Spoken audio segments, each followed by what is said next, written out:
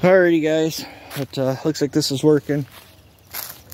I guess this, I got the bark peeled off this. It had tons of dirt and gravel in it, so I don't know. This this is about a 30, probably 30, 31 inch piece. It's a 20 inch bar. And I got about 10, 11 inches before the other side there. Uh, so this is uh, my 4910 that I compete with. It is sporting an 8 pin rim. And uh, let's see if a, a little saw can uh, do the work of a big saw. But, uh,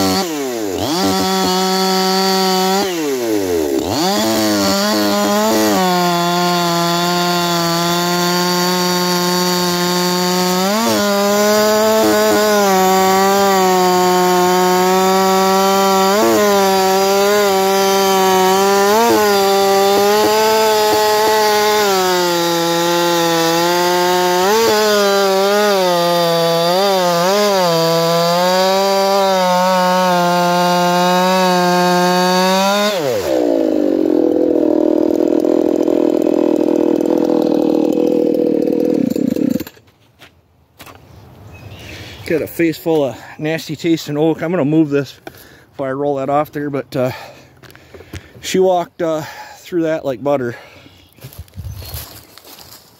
And I was pushing on that, guys. I'm hoping not to get crunched by this thing.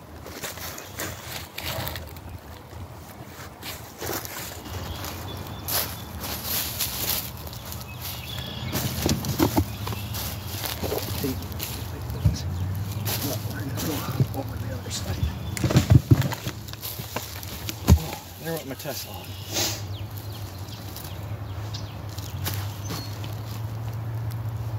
Oh. This bastard up.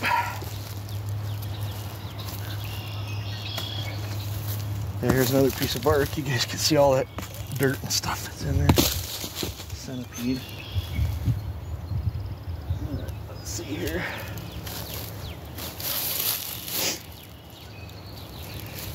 Let's see what it looks like in view. I don't know if I got a wedge with me or not. Just a second.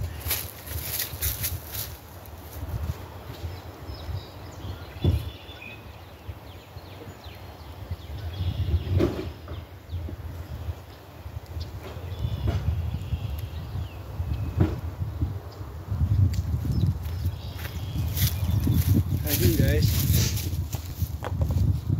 Let's see how that 4910 can do a crosscut.